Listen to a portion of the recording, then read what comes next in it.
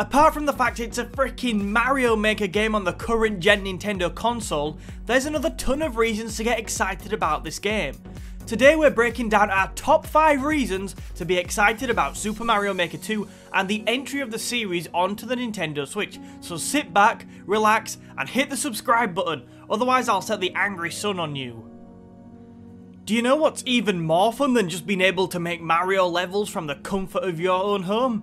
Well, if you don't, it's that as of Friday, you'll be able to continue fine tuning your amazing creations outside of the house, such as on the bus, into town, on a transatlantic flight, or perhaps for all you time travelers out there, at the signing of the Declaration of Independence. Or, if you want to go really far back, to the first time Miyamoto said Pikmin 4 was close to completion. Ha ha ha, Nintendo joke. Although the added portability is a point to be made with pretty much every Switch game, here it seems especially potent, due to the time you can put into each of these levels, and I know I for one will want to take my Switch outside the house with me to show off these levels to my friends. Another thing which makes the portability factor of the Switch so great with Mario Maker is how good a job Nintendo seem to have done with the Mario Maker in undocked mode. Using the Mario Maker interface with the touchscreen whilst the Switch is in your hands looks very well organised and easy to use. If this is the case, I could easily choose to build my levels in handheld mode no matter where I am. Before we found out about this game, a lot of the talk about what a new Super Mario Maker should be like on Switch revolved around the question, what else can they do to justify a full price sequel rather than a port? Well, on top of some of the other points we're going to explore later in the video, the features I'm about to discuss in this point go a long way into that justification. Super Mario Maker 2 includes a ton of new gameplay customizables. Apart from the fact you can have slopes, other features include claws are now a thing in Mario Maker, the fact that the Angry Sun now has some serious competition from a much more pleasant moon, and tapping this new moon feature transports the game into a tranquil nighttime setting. But strange things can happen in this new world, including floating Goombas and really slippy ground. Clear conditions is another feature that will add a ton more depth to levels. No longer is your only aim to get from the start of the level to the end, but now there's other clear conditions you have to fulfill to complete the level such as defeating all 19 Koopa Troopas or grabbing all 50 coins. Hopefully in the future it will be possible to add even more than one clear condition which will add further depth to the game.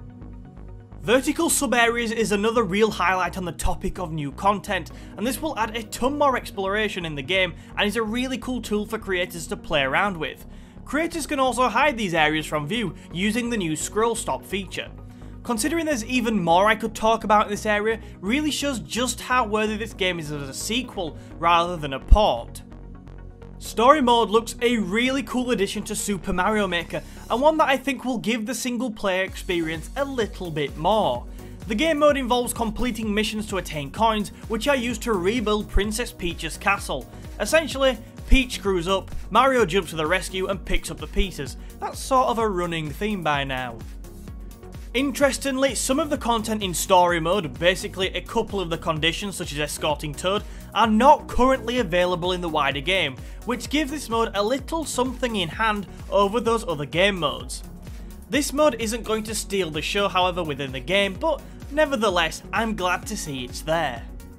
Moving into the top positions now, in second place on this list we've got the stuff of parents' dreams, co-op building. Yes, that's right, stressed out parents. The kids don't have to fight over who's playing Mario Maker anymore because now both can build courses at the same time, which is a really neat addition.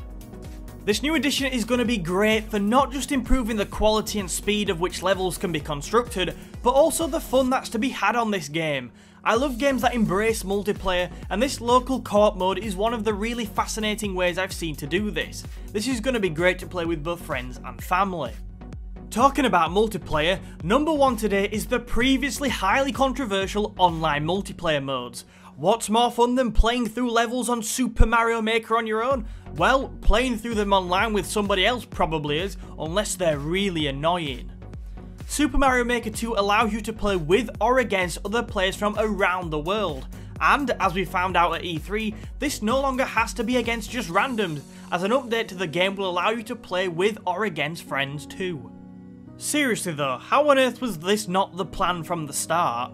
Who sat in a meeting, pitched the idea that you can't play online with friends and everyone else said, yeah, that sounds fantastic, that's a great idea.